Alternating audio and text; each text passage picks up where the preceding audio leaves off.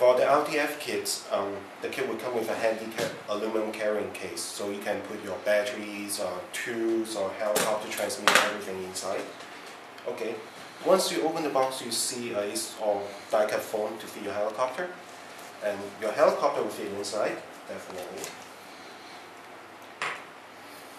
Um, all, all the ne- necessary kits like the CD-ROM for the transmitter setup, the USB USB cable. The transmitter itself will fit in the lower level.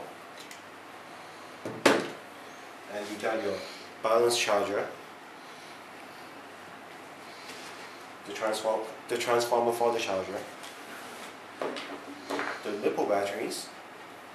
And it will come with um, the blade holder and um, two Velcro straps so you can strap the battery in and some extra screws.